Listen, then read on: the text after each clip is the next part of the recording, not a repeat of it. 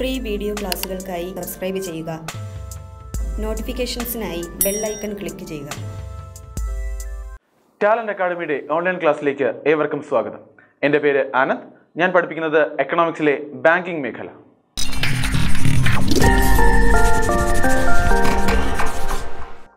Indian സമ്പദ് വ്യവസ്ഥയിൽ ഏറ്റവും പ്രാധാന്യമർഹിക്കുന്ന ഒരു മേഖലയാണ് ബാങ്കിംഗ്.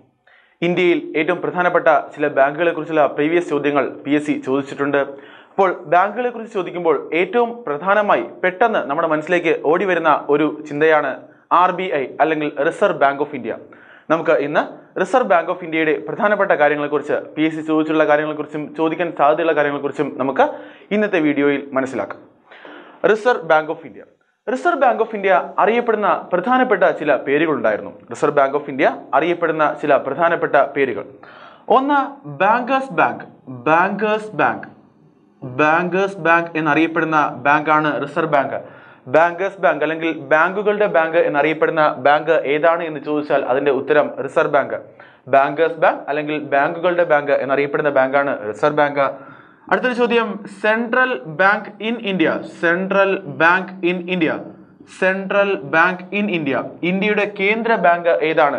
സെൻട്രൽ ബാങ്ക് അല്ലെങ്കിൽ കേന്ദ്ര ബാങ്ക് ഇന്ത്യയുടെ കേന്ദ്ര ബാങ്ക് ഏതാണ് എന്നറിയപ്പെടുന്ന ബാങ്ക് ചോദിച്ചാലും അതിന്റെ ഉത്തരവും റിസർവ് ബാങ്ക് അപ്പോൾ രണ്ട് ചോദ്യങ്ങൾ. ഒന്ന് ബാങ്കേഴ്സ് ബാങ്ക് അല്ലെങ്കിൽ ബാങ്കുകളുടെ ബാങ്ക് എന്നറിയപ്പെടുന്ന ബാങ്ക് ആർ ബി ഐ മറ്റൊന്ന് സെൻട്രൽ ബാങ്ക് ഇൻ ഇന്ത്യ അതായത് ഇന്ത്യയുടെ കേന്ദ്ര ബാങ്ക് എന്നറിയപ്പെടുന്ന ബാങ്ക് ഏതാണ്? അതും റിസർവ് ബാങ്ക് ഓഫ് ഇന്ത്യ ഇനി ഒരെണ്ണം. Controller of credit controller of credit controller of credit അതായത് വായ്പകളുടെ നിയന്ത്രകൻ. കൺട്രോളർ ഓഫ് ക്രെഡിറ്റ് അല്ലെങ്കിൽ വായ്പകളുടെ നിയന്ത്രകൻ എന്നറിയപ്പെടുന്ന ബാങ്ക് ഏതാണ് എന്ന് ചോദിച്ചാലും അത് Reserve Bank of India controller of credit അല്ലെങ്കിൽ വായ്പകളുടെ നിയന്ത്രകൻ. ഇനി ഒരെണ്ണം custodian of foreign reserves custodian of foreign reserves custodian of foreign reserve custodian of foreign reserves അല്ലെങ്കിൽ വിദേശ നാണയത്തിന്റെ സൂക്ഷിപ്പുകാരൻ എന്നറിയപ്പെടുന്ന ബാങ്ക് ഏതാണ്? വിദേശ നാണയത്തിന്റെ സൂക്ഷിപ്പുകാരൻ അല്ലെങ്കിൽ കസ്റ്റേഡിയൻ ഓഫ് ഫോറിൻ റിസർവ്സ് എന്നറിയപ്പെടുന്ന ബാങ്ക് ഏതാണ് എന്ന് ചോദിച്ചാലും അത് റിസർവ് ബാങ്ക് ഓഫ് ഇന്ത്യ തന്നെയാണ്. അപ്പോൾ നാല് പ്രധാനപ്പെട്ട പേരുകൾ. അപ്പോൾ ഇതിൽ ഏത് പേര് ചോദിച്ചിട്ടും ഈ പേരിൽ അറിയപ്പെടുന്ന ബാങ്ക് ഏതാണ് എന്ന് ചോദിച്ചാൽ കൂട്ടുകാർക്ക് കൃത്യമായി എഴുതാൻ സാധിക്കണം. അത് റിസർവ് ബാങ്ക് ഓഫ് ഇന്ത്യ എന്നതാണ്. അപ്പോൾ ഒന്നുകൂടെ നാല് കാര്യങ്ങൾ ഒന്നുകൂടെ നമുക്ക് ഓർമ്മിച്ച് നോക്കാം. ഒന്ന് ബാങ്കേഴ്സ് ബാങ്ക് അല്ലെങ്കിൽ ബാങ്കുകളുടെ ബാങ്ക്. മറ്റൊന്ന് സെൻട്രൽ ബാങ്ക് ഇൻ ഇന്ത്യ ഇന്ത്യയുടെ കേന്ദ്ര ബാങ്ക്. മറ്റൊന്ന് കൺട്രോളർ ഓഫ് ക്രെഡിറ്റ് അല്ലെങ്കിൽ വായ്പകളുടെ നിയന്ത്രകൻ. മറ്റൊന്ന് കസ്റ്റേഡിയൻ ഓഫ് ഫോറിൻ റിസർവ്സ് അല്ലെങ്കിൽ വിദേശ നാണയത്തിന്റെ സൂക്ഷിപ്പുകൻ അങ്ങനെ പ്രധാനമായും നാല് പേരുകളിലാണ് റിസർവ് ബാങ്ക് അറിയപ്പെടുന്നത്. ഇനി റിസർവ് ബാങ്കിന്റെ ഡ്യൂട്ടീസ് അല്ലെങ്കിൽ അതിന്റെ ധർമ്മങ്ങൾ എന്തൊക്കെയാണ് എന്ന് ചോദിച്ചാൽ ഒന്ന് ഏറ്റവും പ്രധാനപ്പെട്ട ഒന്ന് printing and issuing printing and issuing of currency notes in India printing and issuing of currency notes printing and issuing of currency notes in India printing and issuing of currency notes in India അതായത് ഇന്ത്യയിൽ currency നോട്ടുകൾ അച്ചടിക്കുകയും വിതരണം ചെയ്യുകയും ചെയ്യുക. ഇന്ത്യയിൽ currency നോട്ടുകൾ അച്ചടിക്കുകയും വിതരണം ചെയ്യുകയും ചെയ്യുന്ന ബാങ്ക് ഏതാണ് എന്ന് ചോദിച്ചാൽ കൃത്യമായി മനസ്സിലാക്കുക അത് റിസർവ് ബാങ്ക് ഓഫ് ഇന്ത്യ ആണ്. ഇനി ഒരെണ്ണം maintains the transaction value of Indian currency maintains the transaction value maintains the transaction value of Indian currency maintains the transaction value maintains the transaction value of Indian currency maintains the transaction value of Indian currency. അതായത് Indian കറൻസിയുടെ വിനിമയ മൂല്യം അല്ലെങ്കിൽ transaction value maintain ചെയ്യുന്ന bank ഏതാണ് എന്ന് ചോദിച്ചാൽ അല്ലെങ്കിൽ ഇന്ത്യൻ കറൻസിയുടെ വിനിമയ മൂല്യം നിയന്ത്രിക്കുന്ന ബാങ്ക് ഏതാണ് എന്ന് ചോദിച്ചാൽ കൃത്യമായി എഴുതാൻ സാധിക്കണം. അത് റിസർവ് ബാങ്ക് ഓഫ് ഇന്ത്യ അപ്പോൾ ഒന്നാമത്തെ ഡ്യൂട്ടി ഏറ്റവും പ്രധാനപ്പെട്ട ഒന്ന് തന്നെയാണത് printing and issuing of currency notes in India മറ്റൊന്ന് maintains the transaction value of Indian currency അല്ലെങ്കിൽ maintains the transaction value Indian കറൻസിയുടെ വിനിമയ മൂല്യം സ്ഥിരമായി സൂക്ഷിക്കുക എന്ന ഡ്യൂട്ടി ചെയ്യുന്നു. ഇനി ഏറ്റവും പ്രധാനപ്പെട്ട ഒന്ന് it represent India in International Monetary Fund represents India in International Monetary Fund represents India in International Monetary Fund അല്ലെങ്കിൽ I M F I M എഫിൽ ഇന്ത്യയെ പ്രതിനിധാനം ചെയ്യുന്ന ബാങ്ക് ഏതാണ് എന്ന് ചോദിച്ചാലും അതിന്റെ ഉത്തരം റിസർവ് ബാങ്ക് ഓഫ് ഇന്ത്യ അപ്പോൾ മൂന്ന് കാര്യങ്ങൾ. ഒന്ന് printing and uh, issuing of currency notes in India, maintains the transaction value of Indian currency, represents India in International Monetary Fund. In your name, it uh, provides advice to the government. It uh, provides advice to the government in currency issues. Provides advice to the government. Provides advice to the government in currency issues. Provide advice to the government in currency issues. അതായത് പണസംബന്ധമായ കാര്യങ്ങൾക്ക് ഗവൺമെന്റിനെ ഉപദേശിക്കുന്ന bank പണസംബന്ധമായ കാര്യങ്ങൾക്ക് ഗവൺമെന്റിനെ ഉപദേശിക്കുന്ന bank ഏതാണ് എന്ന് ചോദിച്ചാൽ കൃത്യമായി എഴുതുക അത് റിസർവ് ബാങ്ക് ഓഫ് ഇന്ത്യ. അപ്പോൾ പ്രധാനമായും ഈ നാല് ധർമ്മങ്ങൾ അല്ലെങ്കിൽ നാല് ഡ്യൂട്ടീസ് ചെയ്യുന്നു. പിന്നെ ഈ നാല് പേരുകളിൽ അറിയപ്പെടുന്നു. അപ്പോൾ നാല് പേരിൽ അറിയപ്പെടുന്ന ബാങ്ക് ഏതാണ്? ദെൻ ഈ നാല് ഡ്യൂട്ടി ചെയ്യുന്ന ബാങ്ക് ഏതാണ് എന്ന ചോദ്യം കൃത്യമായി ചോദിച്ചാൽ അതിന്റെ ഉത്തരം കൂട്ടുകാർ കൃത്യമായി എഴുതുക അത് റിസർവ് ബാങ്ക് ഓഫ് ഇന്ത്യ എന്നതാണ്. അപ്പോൾ ഇത്രയും കാര്യങ്ങൾ കൂട്ടുകാരെ മനസ്സിലായെന്ന് വിചാരിക്കുന്നു. ഇനി നമുക്ക് റിസർവ് ബാങ്ക് രൂപങ്ങളിൽ കാരണമായ കുറച്ച് കമ്മീഷനുകളുണ്ട്. അത് വന്ന കുറച്ച് വർഷങ്ങളുണ്ട്. അപ്പോൾ അത്രയും നമുക്ക് നോക്കാം. ഇത്രയും കാര്യങ്ങൾ കൃത്യമായി എല്ലാവരും മനസ്സിലാക്കുക. ഓരോ പ്രാവശ്യവും കൃത്യമായി ആവർത്തിച്ച് ആവർത്തിച്ച് ഈ വീഡിയോ കാണുക കണ്ട് മനസ്സിലാക്കുക. ഒരു കാര്യം ആവർത്തിച്ച് ആവർത്തിച്ച് പറയുന്നത് അത് നിങ്ങൾ ഇപ്പോൾ തന്നെ ഇപ്പോൾ തന്നെ മനസ്സിലാക്കാൻ വേണ്ടിയിട്ടാണ്. അപ്പോൾ കൃത്യമായി മനസ്സിലാക്കുക. കൃത്യമായി ഇത്രയും കാലം നമുക്ക് ഒന്നുകൂടെ ഒന്ന് മനസ്സിൽ ഓർമ്മിച്ച് നോക്കാം. റിസർവ് ബാങ്ക് അറിയപ്പെടുന്ന നാല് പേരുകൾ. ഒന്ന് ബാങ്കേഴ്സ് ബാങ്ക് മറ്റൊന്ന് സെൻട്രൽ ബാങ്ക് ഇൻ ഇന്ത്യ മറ്റൊന്ന് കൺട്രോളർ ഓഫ് ക്രെഡിറ്റ് അടുത്തത് custodian of foreign reserves then നാല് പ്രധാനപ്പെട്ട ഡ്യൂട്ടീസ് അല്ലെങ്കിൽ ധർമ്മങ്ങൾ.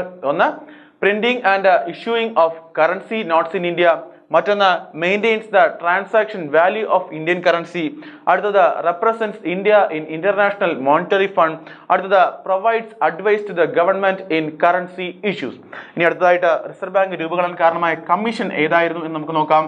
അടുത്തതായിട്ട് റിസർവ് ബാങ്ക് രൂപങ്ങളും കാരണമായ കമ്മീഷൻ ഏതാണ് എന്ന് ചോദിച്ചാൽ അത് Hilton Young Commission Hilton Young R B I രൂപങ്ങൾ കാരണമായ commission the commission which helps to the formation of R B I ഏതാണ് എന്ന് ചോദിച്ചാൽ അത് Hilton Young Commission the commission which helps to the formation of R B I R B I രൂപങ്ങളും കാരണമായ commission അത് Hilton Young commission അത് വന്ന വർഷം ആയിരത്തി തൊള്ളായിരത്തി ഇരുപത്തി ആറ് നയന്റീൻ ട്വന്റി സിക്സിലാണ് ഹിൽട്ടൺ എൻ കമ്മീഷൻ നിലവിൽ വന്നത്. അടുത്തതായിട്ട് ഹിൽട്ടൺ എൻ കമ്മീഷന്റെ പഴയ പേര് പ്രീവിയസ് ചോദ്യമാണ്. The former name of H Y Commission അല്ലെങ്കിൽ ഹിൽട്ടൺ എൻ കമ്മീഷന്റെ ഫോമർ നെയിം എന്തായിരുന്നു എന്ന് ചോദിച്ചാൽ അത് Royal Commission of Indian Currency and Finance Royal Commission of Indian Currency and Finance ഒന്നുകൂടി ശ്രദ്ധിക്കുക. Royal Commission of Indian Currency and Finance ഒന്നുകൂടെ Royal Commission of Indian Currency and Finance ചില പരീക്ഷകൾക്ക് റോയൽ കമ്മീഷൻ എന്ന് മാത്രമായിട്ടും ചോദിക്കാറുണ്ട്. അപ്പോൾ ഹിൽട്ടണിംഗ് കമ്മീഷന്റെ പഴയകാല പേര്. ഒന്നിലെ ഫുൾ നെയിം ഓർമ്മിക്കുക. Royal Commission of Indian Currency and Finance അല്ലെങ്കിൽ റോയൽ കമ്മീഷൻ എന്ന പേര് കൃത്യമായി എല്ലാവരും ഓർമ്മിക്കുക. കൂടുതൽ പരീക്ഷകൾക്ക് വന്ന ചോദ്യം റോയൽ കമ്മീഷൻ നിന്ന് മാത്രമായിരുന്നു ആ ഒരു കാര്യം ശ്രദ്ധിക്കുക. ഇനി അടുത്ത Reserve Bank R B I Act Reserve Bank Act R B I Act വന്ന വർഷം റിസർവ് ബാങ്ക് നിയമം നിലവിൽ വന്ന വർഷം എന്നാണെന്ന് ചോദിച്ചാൽ അത് ആയിരത്തി തൊള്ളായിരത്തി മുപ്പത്തിനാല് ആയിരത്തി തൊള്ളായിരത്തി മുപ്പത്തിനാലാണ് റിസർവ് ബാങ്ക് ആക്ട് വന്നത്.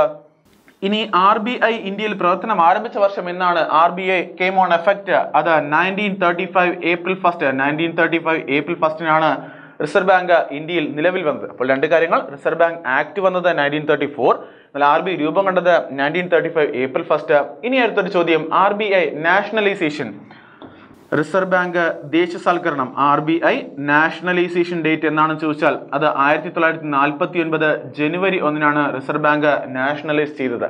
അപ്പോൾ ഇത്രയും കാലം കൃത്യമായിട്ട് ഓർമ്മിക്കുക. ആർ ബി ഐ രൂപങ്ങളെ കാരണമായ കമ്മീഷൻ ഏതാണെന്ന് ചോദിച്ചാൽ ഹിൽട്ടൺ കമ്മീഷൻ വന്ന വർഷം nineteen twenty six former name പഴയ പേര് Royal Commission of Indian Currency and Finance Reserve Bank Act വന്നത് nineteen thirty four R B രൂപം കൊണ്ടത് nineteen thirty five April first R B I nationalisation nineteen forty nine January first ഇനി R ബിയുടെ headquarters ആസ്ഥാനം എവിടെയാണെന്ന് ചോദിച്ചാൽ അത് Mumbai. R ബിയുടെ ഹെഡ് ക്വാർട്ടേഴ്സ് അത് Mumbai. R B headquarters Mumbai. Headquarters in Kerala എവിടെയാണെന്ന് ചോദിച്ചാൽ? ഹെഡ് ക്വാർട്ടേഴ്സ് ഇൻ കേരള അത് Thiruvananthapuram. Head quarters in Kerala എവിടെയാണെന്ന് ചോദിച്ചാൽ അത് തിരുവനന്തപുരം. അപ്പോൾ ഇത്രയും കാര്യം കൃത്യമായിട്ട് ശ്രദ്ധിക്കുക. ആർ ബിയുടെ ഹെഡ് ക്വാർട്ടേഴ്സ് എവിടെയാണ് ചോദിച്ചാൽ അത് Mumbai. Head quarters in Kerala എവിടെയാണ് ചോദിച്ചാൽ അത് തിരുവനന്തപുരം. അപ്പോൾ ആർ ബി ഐക്ക് എല്ലാ സംസ്ഥാനങ്ങളിലും ഓരോ സ്റ്റേറ്റ് ഹെഡ് ക്വാർട്ടേഴ്സ് ഉണ്ട് എന്നുള്ള കാര്യം ഓർമ്മിക്കുക. ജമ്മു കാശ്മീർ ഒഴികെ ബാക്കി എല്ലാ സംസ്ഥാനങ്ങളിലും ആർ ബി ഐക്ക് ഓരോ സ്റ്റേറ്റ് ഹെഡ് ക്വാർട്ടേഴ്സ് ഉണ്ട്. അവയ്ക്ക് ഓരോ ആസ്ഥാനങ്ങളുമുണ്ട്.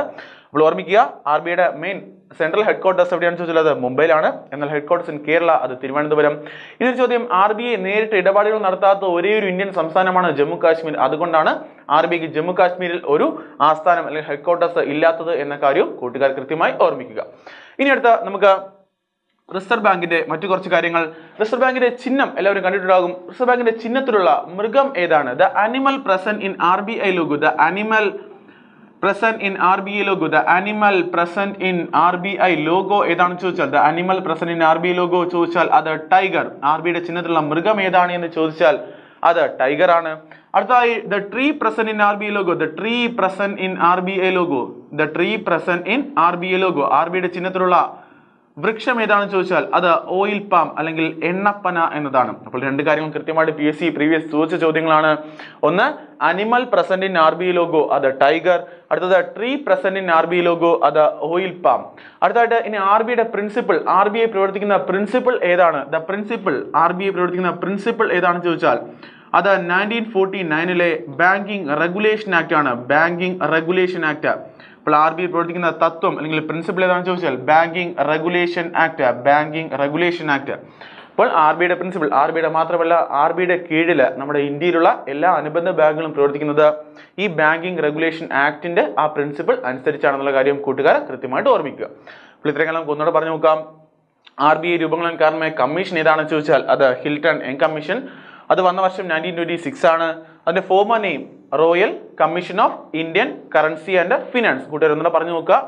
Royal Commission of Indian Currency and Finance ഇനി അടുത്ത ചിലപ്പോൾ റോയൽ കമ്മീഷൻ മാത്രം ചോദിച്ചാലും അത് തന്നെ ആൻസർ ആയിട്ട് എഴുതുക. അടുത്തായിട്ട് റിസർവ് ബാങ്ക് ആക്ട് നിലവിൽ വന്നത് ആയിരത്തി തൊള്ളായിരത്തി മുപ്പത്തിനാല് റിസർവ് ബാങ്ക് ആക്ട് നിലവിൽ വന്നത് ആയിരത്തി തൊള്ളായിരത്തി മുപ്പത്തി നാലിലായിരുന്നു ആർ ബി ഐ രൂപം കണ്ടത് ആയിരത്തി തൊള്ളായിരത്തി മുപ്പത്തി അഞ്ച് ഏപ്രിൽ ഒന്ന്. ആർ ബി ഐ രൂപം കൊണ്ടത് ആയിരത്തി തൊള്ളായിരത്തി മുപ്പത്തി അഞ്ച് ഏപ്രിൽ ഒന്ന് ആർ ബി ഐ നാഷണലൈസേഷൻ അല്ലെങ്കിൽ ദേശസാൽക്കരണം എന്നാണെന്ന് ചോദിച്ചാൽ nineteen forty nine January first R ബിയുടെ ഹെഡ് ക്വാർട്ടേഴ്സ് എവിടെയാണെന്ന് ചോദിച്ചാൽ അത് മുംബൈയിലാണ്. ഹെഡ് ക്വാർട്ടേഴ്സ് ഇൻ കേരള അത് തിരുവനന്തപുരമാണ്.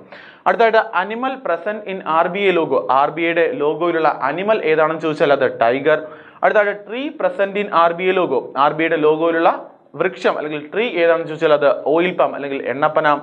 അടുത്തായിട്ട് ആർ ബി ഐ പ്രവർത്തിക്കുന്ന പ്രിൻസിപ്പിൾ ആർ ബി ഐയുടെ പ്രിൻസിപ്പിൾ ഏതാണെന്ന് ചോദിച്ചാൽ നയന്റീൻ ഫോർട്ടി നയനിലെ ബാങ്കിങ് റെഗുലേഷൻ ആക്ട് ആണെന്നുള്ള കാര്യവും കൃത്യമായിട്ട് ഓർമ്മിക്കുക.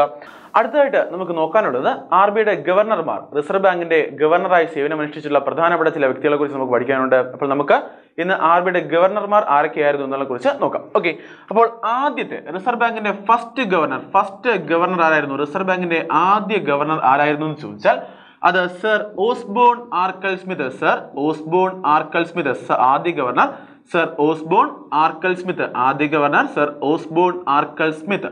ഇപ്പൊ റിസർവ് ബാങ്കിന്റെ ആദ്യ ഗവർണറിന്റെ പേരാണ് സർ ഓസ്ബോൺ ആർക്കൽ സ്മിത്ത്. അല്ലെങ്കിൽ അത് അറിയപ്പെടുന്നത് O A Smith. Osborne Arkell അല്ലെങ്കിൽ ഒ എ സ്മിത്ത് എന്ന പേരിലും ചോദിച്ചിട്ടുണ്ട് പി എസ് സി. അപ്പൊ രണ്ട് കാര്യങ്ങൾ ഓർമ്മിക്കുക. First governor Sir Osborne Arkell Smith അല്ലെങ്കിൽ ഒ എ സ്മിത്ത്. ദെൻ അടുത്തായിട്ട് രണ്ടാമത്തെ governor second governor second governor James Tyler. Second ഗവർണറുടെ പേരാണ് James Tyler. Second governor James Tyler. Okay ഇപ്പൊ സെക്കൻഡ് ഗവർണർ ജെയിംസ് ടൈലർ. അതിന്റെ പ്രത്യേകത ജെയിംസ് ടൈലർ എന്താണ് പ്രത്യേകത എന്ന് ചോദിച്ചാൽ ഇന്ത്യൻ കറൻസിയിൽ ഒപ്പുവച്ച ആദ്യ governor ഗവർണറാണ് James Tyler Reserve Bank governor who signed in Indian currency first governor sorry first governor who signed in Indian currency first governor who signed first governor who signed in Indian currency first governor who signed in Indian currency എന്നറിയപ്പെടുന്ന വ്യക്തിയാണ് Indian currency അപ്പൊ Indian കറൻസിയിൽ ഒപ്പുവെച്ച ആദ്യ governor Indian കറൻസിയിൽ ഒപ്പുവെച്ച ആദ്യ governor ആരാണ് എന്ന് ചോദിച്ചാൽ അത് ജെയിംസ് ടൈലർ ആണ് അപ്പോൾ രണ്ട് കാര്യങ്ങൾ. ആദ്യ governor Sir Osborne Arkell Smith അല്ലെങ്കിൽ ഒ എ സ്മിത്ത്. രണ്ടാമത്തേത് ജെയിംസ് ടൈലർ അതിന്റെ പ്രത്യേകത first governor who signed in Indian currency Indian കറൻസിയിൽ ഒപ്പുവെച്ച ആദ്യ ഗവർണറാണ് ഈ ജെയിംസ് ടൈലർ അപ്പോൾ ഈ രണ്ടുപേരും നമുക്ക് പേര് കേൾക്കുമ്പോൾ തന്നെ അറിയാം. രണ്ടുപേരും ഇന്ത്യക്കാർ അല്ല എന്നുള്ള കാര്യം എല്ലാവരും ഓർമ്മിക്കുക.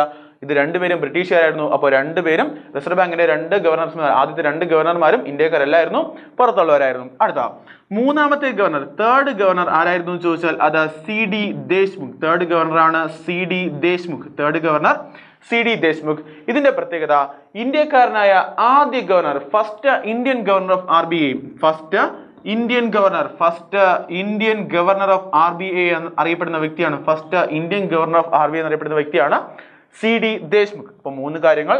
First governor Sir Osborne Arkell Smith first governor Sir Osborne Arkell Smith അല്ലെങ്കിൽ O A Smith second governor James Tyler അതിന്റെ പ്രത്യേകത first governor who signed in Indian currency അല്ലെങ്കിൽ ഇന്ത്യൻ കറൻസിയിൽ ഒപ്പുവെച്ച ആദ്യ ഗവർണർ മൂന്നാമത്തേത് C D Deshmukh. Third governor C D Deshmukh. അതിന്റെ പ്രത്യേകത ഫസ്റ്റ് ഇന്ത്യൻ ഗവർണർ ഇന്ത്യക്കാരനായ ആദ്യ ഗവർണർ അടുത്തായിട്ട് ഫോർത്ത് ഗവർണർ ആരാന്ന് ചോദിച്ചാൽ fourth B R Rao B R Rao അല്ലെങ്കിൽ ബനഗൽ രാമറാവു ബി ആർ റാവു അല്ലെങ്കിൽ ബനഗൽ രാമറാവു ആണ് ആർ ബിയുടെ നാലാമത്തെ ഗവർണർ. ഇതിന്റെ പ്രത്യേകത longest serving longest serving Reserve Bank governor longest serving R B I governor longest serving R B I governor R B ഐയുടെ ഏറ്റവും കൂടുതൽ കാലം സേവനമനുഷ്ഠിച്ച ഗവർണർ ആരായിരുന്നു എന്ന് ചോദിച്ചാൽ അത് ബി ആർ റാവു അല്ലെങ്കിൽ ബനഗൽ രാമറാവു ആണ്. അപ്പോൾ നാല് കാര്യങ്ങൾ നാല് ഗവർണർമാർ ആദ്യം ഒന്ന് ശ്രദ്ധിക്കുക. ഒന്നുകൂടെ പറയാം ആദ്യ governor sir Osborne Arkell Smith അല്ലെങ്കിൽ ഒ എ സ്മിത്ത്. രണ്ടാമത്തേത് ജെയിംസ് ടൈലർ അതായത് പ്രത്യേകത first governor who signed in Indian currency. മൂന്നാമത്തേത് സി ഡി ദേശ്മുഖ് പ്രത്യേകത first Indian governor of R B I. Fourth B R Rao അല്ലെങ്കിൽ ബനഗൽ രാമറാവു പ്രത്യേകത longest serving Reserve Bank governor. ഇനി ഇത്തരം കാര്യങ്ങൾ കൂട്ടുകാർ മനസ്സിലായിരിക്കുന്നു ഒന്നുകൂടെ നമുക്ക് പറഞ്ഞു നോക്കാം. ഫസ്റ്റ് ഗവർണർ കൃത്യമായി ഒന്ന് ഓർമ്മയെന്ന് പറഞ്ഞ് ശ്രദ്ധി ശ്രമിക്കുക. First governor sir Osborne Arkell Smith. രണ്ടാമത്തേത് ജെയിംസ് ടൈലർ അതിനൊരു പ്രത്യേകതയുണ്ട്. ഇന്ത്യൻ കറൻസിയിൽ ഒപ്പുവെച്ച ആദ്യ ഗവർണറായിരുന്നു. ദെൻ മൂന്നാമത്തേത് സി ഡി ദേശ്മുഖ് എന്ന വ്യക്തി അദ്ദേഹത്തിന്റെ പ്രത്യേകത. ഇന്ത്യക്കാരനായ ആദ്യ റിസർവ് ബാങ്ക് ഗവർണറായിരുന്നു. നാലാമത്തേത് ബി ആർ റാവു അല്ലെങ്കിൽ ബനഗൽ രാമറാവു അതിന്റെ പ്രത്യേകത ഏറ്റവും കൂടുതൽ കാലം longest serving Reserve Bank governor ആയിരുന്നു B R Rao.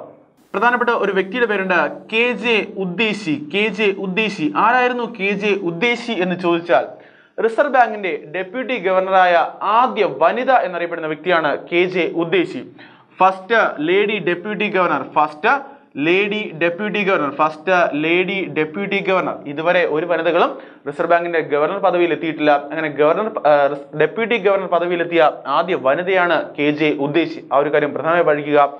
First lady deputy governor of R B I K J Udeshi ഇനി ഒരു പ്രധാനപ്പെട്ട ചോദ്യം. നമ്മുടെ മൻമോഹൻ സിംഗ് മൻമോഹൻ സിംഗ്. എന്താ പ്രത്യേകത എന്ന് ചോദിച്ചാൽ മൻമോഹൻ സിംഗ്. മൻമോഹൻ സിംഗിന്റെ പ്രത്യേകത R B I governor who later became prime minister of India R B ഐയുടെ ഗവർണർ ആയതിനു ശേഷം ഇന്ത്യൻ പ്രധാനമന്ത്രിയായ വ്യക്തി ആരാണ് എന്ന് ചോദിച്ചാൽ അത് Manmohan Singh. R B I governor who later became prime minister of India R B I governor who later became prime minister of India who later became prime minister who later became prime minister of India who later became prime minister of india. അതായത് reserve ബാങ്കിന്റെ governor പദവിയിൽ എത്തിയതിനു ശേഷം അദ്ദേഹത്തെ ഇന്ത്യയുടെ പ്രധാനമന്ത്രിയായ വ്യക്തിയാണ് ഈ മൻമോഹൻ സിംഗ് എന്നറിയപ്പെടുന്ന വ്യക്തി. ഇനി ഒരു പ്രധാനപ്പെട്ട ചോദ്യമുള്ളത് പ്രസന്റ് പ്രസന്റ് ഗവർണർ ആരാണ് എന്ന് ചോദിച്ചാൽ അത് ശക്തികാന്ത ദാസ് ശക്തികാന്ത ദാസ്. ആരായിരുന്നു ശക്തികാന്ത ദാസ്? ആർ ബി ഐയുടെ present governor present governor of R B I present governor. R B ഐയുടെ പ്രസന്റ് ഗവർണർ എന്നറിയപ്പെടുന്ന വ്യക്തിയാണ് ശക്തികാന്ത ദാസ്. ഒരു ചോദ്യമുണ്ട് ആർ ബി ഐയുടെ എത്രാമത്തെ ഗവർണറാണ് ശക്തികാന്ത ദാസ്? ആർ ബി ഐയുടെ എത്രാമത്തെ ഗവർണറാണ് ശക്തികാന്ത ദാസ്? അപ്പോൾ മൂന്ന് ചോദ്യങ്ങൾ ഒന്നുകൂടെ പഠിക്കാം. കെ ജെ ഉദ്ദേശി പ്രത്യേകത.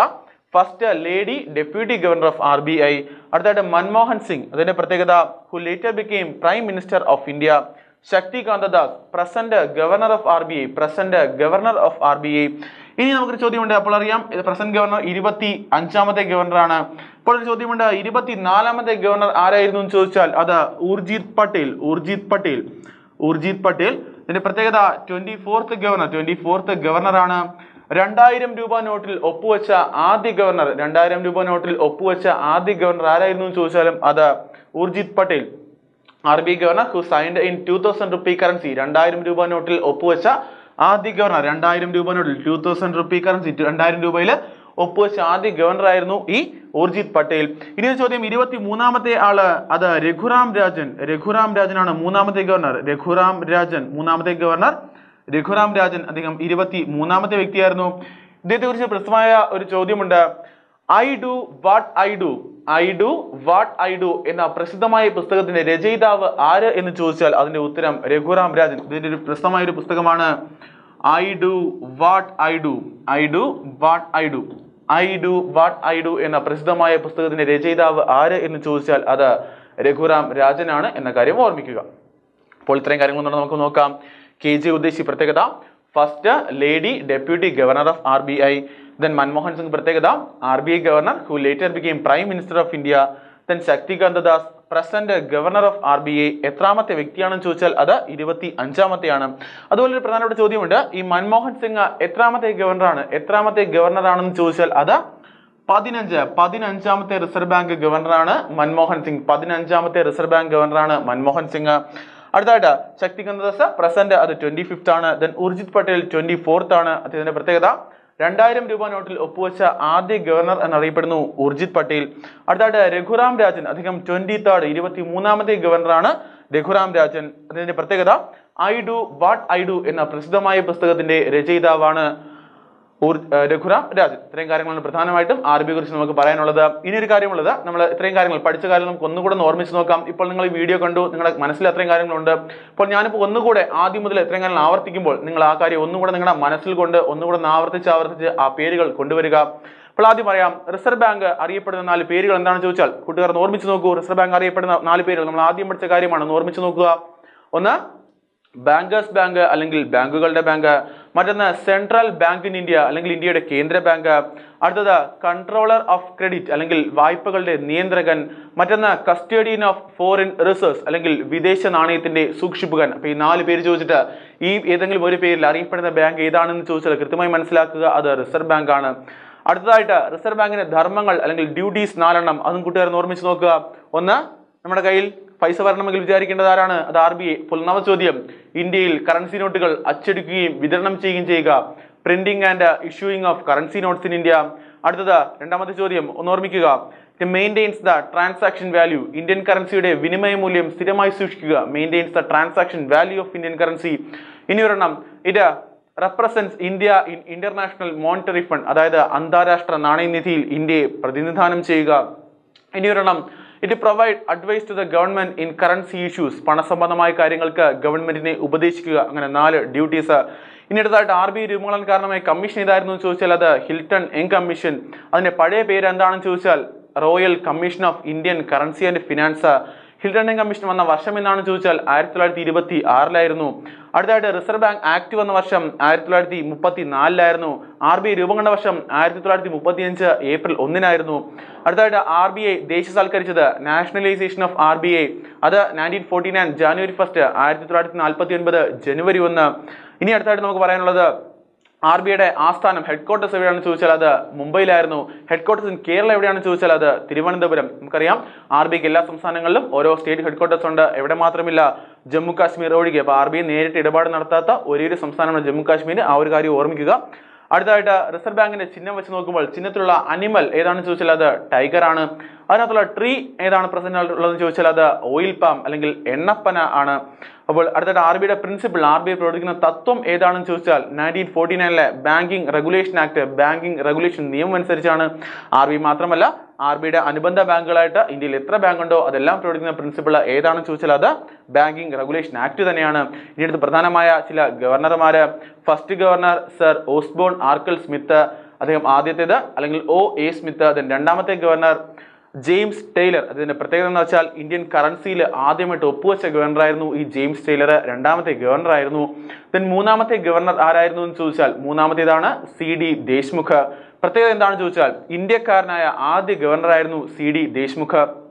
നാലാമത്തെ താരം ചോദിച്ചാൽ ബി ആർ റാവു ബെനഗൽ രാമറാവു. അതിന്റെ പ്രത്യേകത ഏറ്റവും കൂടുതൽ കാലം റിസർവ് ബാങ്ക് ഗവർണർ പദവിയിൽ ഇരുന്ന വ്യക്തിയാണ് ബെനഗൽ രാമറാവു അല്ലെങ്കിൽ ബി ആർ റാവു. ഒരു നമ്മൾ വിളിച്ചു കെ ജെ ഉദ്ദേശി ആരാണ് കെ ജെ ഉദ്ദേശി എന്ന് ചോദിച്ചാൽ റിസർവ് ബാങ്കിന്റെ ഡെപ്യൂട്ടി ഗവർണറായ ആദ്യ വനിതയാണ് കെ ജെ ഉദ്ദേശി അടുത്തത് മൻമോഹൻ സിംഗ്. പ്രത്യേകത പ്രധാനമന്ത്രി അതായത് റിസർവ് ബാങ്ക് ഗവർണർ ആയതിനു ശേഷം പ്രധാനമന്ത്രി ആയ ഒരു വ്യക്തിയാണ് മൻമോഹൻ സിംഗ്. അദ്ദേഹം ആർ ബി ഐയുടെ പതിനഞ്ചാമത്തെ ഗവർണർ ആയിരുന്ന വ്യക്തിയും കൂടിയാണ്. അടുത്തതായിട്ട് നമുക്ക് പറയാനുള്ളത് പ്രസന്റ് നിലവിലെ ഗവർണർ ആരെന്ന് ചോദിച്ചാൽ ശക്തികാന്ത ദാസ് ശക്തികാന്ത ദാസ് ഇരുപത്തിയഞ്ചാമത്തെ ശക്തികാന്ത ദാസ് ഇരുപത്തി അഞ്ചാമത്തെ ഗവർണർ ആയിരുന്നു. ഇരുപത്തി നാലാമത്തെ ഗവർണർ ഊർജിത് പട്ടേൽ ആയിരുന്നു. അതിന്റെ പ്രത്യേകത രണ്ടായിരം രൂപ നോട്ടിൽ ഒപ്പുവെച്ച ആദ്യ ഗവർണർ ആയിരുന്നു ഊർജിത് പട്ടേൽ. അടുത്ത് ഇരുപത്തി മൂന്നാമത്തേത് രഘുറാം രാജൻ. അതിന്റെ പ്രത്യേകത Raghunath Rajan I do what I do എന്ന പ്രസിദ്ധമായ ഒരു ഗ്രന്ഥത്തിന്റെ രചയിതാവ് ആര്? ആ പുസ്തകത്തിന്റെ റൈറ്റർ ആരാണെന്ന് ചോദിച്ചാൽ അത് രഘുറാം രാജൻ. ഇത്രയുമാണ് പ്രധാനമായിട്ടും റിസർവ് ബാങ്കിനെ കുറിച്ച് നമുക്ക് പഠിക്കാനുള്ള കാര്യങ്ങൾ. ഇത്തരം കാര്യങ്ങൾ കൃത്യ കൂട്ടുകാർ കൃത്യമായി മനസ്സിലാക്കുക. കൃത്യമായിട്ട് ഇത്രയും കാര്യങ്ങൾ നന്നായിട്ട് പഠിക്കുക. അപ്പോൾ റിസർവ് ബാങ്കിനെ കുറിച്ചുള്ള പ്രധാനപ്പെട്ട വിവരങ്ങളാണ്. ഇത്തരം കാര്യങ്ങൾ പ്രീവിയസ് ആയിട്ട് പി എസ് സി ചോദിച്ച ചോദ്യങ്ങളാണ്. ഇത്രയും കാര്യങ്ങൾ കൃത്യമായി എല്ലാവരും മനസ്സിലാക്കുക. പി എസ് സി മത്സര പരീക്ഷകൾ ബാങ്കിനെ കുറിച്ച് ഏറ്റവും അധികം ചോദിക്കുന്ന ഒരു ചോദ്യമാണ് റിസർവ് ബാങ്കുകളെ കുറിച്ച് ഇപ്പോൾ റിസർവ് ബാങ്കിനെ കുറിച്ച് പി എസ് സി ഇതുവരെ ചോദിച്ചിട്ടുള്ളതും ഇനി ചോദിക്കാൻ സാധ്യതയുള്ളതുമായ പ്രധാനപ്പെട്ട കുറച്ച് ചോദ്യങ്ങളാണ് നാം ഇന്നത്തെ വീഡിയോയിൽ മനസ്സിലാക്കിയത്. അപ്പോൾ ഇത്രയും കാര്യങ്ങൾ കൂട്ടുകാർ കൃത്യമായി പഠിക്കുക കൃത്യമായി ആവർത്തിച്ച് ആവർത്തിച്ച് കേൾക്കുക കേട്ട് മനസ്സിലാക്കുക. ഇപ്പോൾ പഠിക്കുന്ന സമയം ഈ സമയം തന്നെ ഇത് നിങ്ങളുടെ മനസ്സിലേക്ക് ഓർമ്മയിലേക്ക് ഓർമ്മയിൽ കൊണ്ടുവരിക അത് നിങ്ങളുടെ ബുദ്ധിശക്തിയിൽ സംഭരിച്ചു വയ്ക്കുക. ആ ഒരു കാര്യം ശ്രദ്ധിക്കുക ആവർത്തിച്ച് ആവർത്തിച്ച് കേട്ടാൽ അത് നിങ്ങളുടെ ഓർമ്മയിൽ ഉണ്ടാവും ഓർമ്മശക്തിയിൽ അത് വളരെയധികം തിളക്കമാർന്ന് ഉണ്ടാവും. അപ്പോൾ പരീക്ഷകൾക്ക് ചോദിക്കുമ്പോൾ കൃത്യമായി നിങ്ങൾക്ക് എഴുതുവാനും സാധിക്കും. ആ ഒരു കാര്യം കൂട്ടുകാർ ഓർമ്മിക്കുക. ഇനി അടുത്തൊരു ക്ലാസ്സിലേക്ക് നമുക്ക് ബാങ്കിന്റെ ബാക്കി ഭാഗവുമായി അടുത്ത വീണ്ടും വരും ക്ലാസ്സുകളിൽ കാണാം. അതുവരെയും ഗുഡ് ബൈ.